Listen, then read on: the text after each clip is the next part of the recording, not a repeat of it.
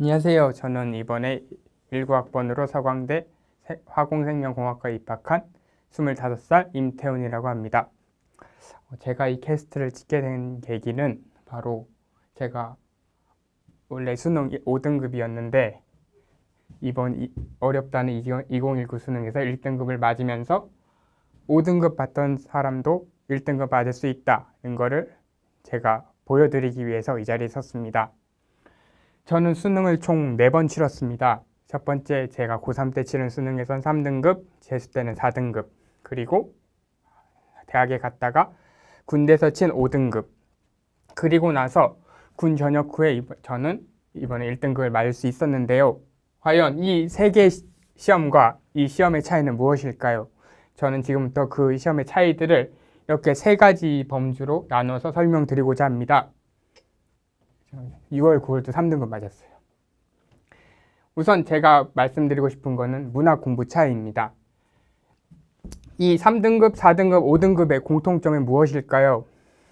다들 아시겠지만 전부 외웠다는 겁니다. 저는 거의 모든 시를 다 누가 썼고 어떤 느낌이고 또 이거는 어떤 문제가 나오는지 다 외웠습니다. 2014 수능 때는 2011부터 14까지 모든 작품에 있는 수능 기출을 다 외웠고 이때는 이거 포함까지 이때는 이때 것까지 다 외웠습니다. 하지만 결과는 갈수록 떨어지는 제 국어 성적이었습니다. 그래서 저는 이번에 바꾸기로 했습니다. 그렇게 바꾼 게 최인 선생님의 논리 수업인 범주와 처한 현실 찾기. 이것의 가장 큰 장 점은 바로 그 방대한 물량의 그 시와 소설들을 그냥 범주와 처한 현실로 나눈다는 겁니다. 모든 문학이 똑같은 범주가 있고 처한 현실만 알면은 다 풀린다는 것을 저는 배울 수 있었습니다. 그렇다 보니까 공부해야 되는 양이 확 줄었고 그만큼 성적은 다른 공부도 할 수 있는 시간이 됐고 그 결과 다른 다른 시험에도 공부할 수 있는 시간이 된 것 같습니다. 그리고 독서 공부 차이를 말씀드리고 싶습니다. 선생님 제자라면 다 아시겠지만 첫, 선생님의 첫 단락 첫 문장을 보고 나머지 다 모든 지문을 다 이해, 이해하십니다.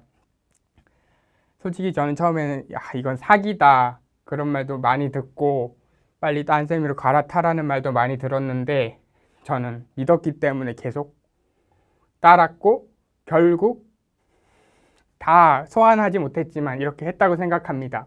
그리고 선생님이 항상 말씀하시기를 그 스파르타를 같이 스파르타 강의를 같이 하라고 하시는데 솔직히 그 저는 솔직히 책을 거기 보시면은 PDF 파일이 올라와 있습니다. 그걸로 같이 공부했더니 선생님 말씀대로 정말 독서에서 더 열심 더 잘 공부할 수 있었습니다. 그리고 마지막으로 전 EBS 공부법에 대해서 말씀드리고 싶은데요. 제가 왜 물음표 썼는지 아시겠나요? 전 EBS 국어 책을 사지 않았습니다. 솔직히 모든 범주와 천연실 같은데 그 똑같은 게 나오겠냐 싶기도 했고 솔직히 여기 나온다고 해서 제가 다 맞출 수 있는 것도 아닌데 차라리 이 시간에 기출 공, 기출에서 범주와 천연현실을 더 잘 찾아내고 기출에 있는 첫 단락과 첫 문장을 보면서 더 공부하는 것이 전 더 맞다고 생각했습니다.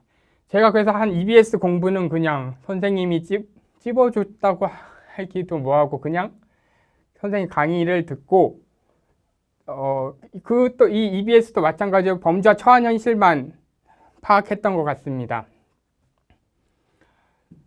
제가 드리고 싶은 말씀은 제가 3, 4, 5등급이지만 이렇게 방법만 바꿨다는 것로 수능에서 1등급을 맞은 것처럼 여러분들도 저처럼 그냥 하루 종일 국어 공부하시는 하루 종일 외우시는 공부하지 마시고 이렇게 논리로 공부해서 짧은 시간에도 그리고 저처럼 한 번도 1등급을 맞아보지 못한 사람도 수능 전에 터지기만 하면 1등급이 나온다.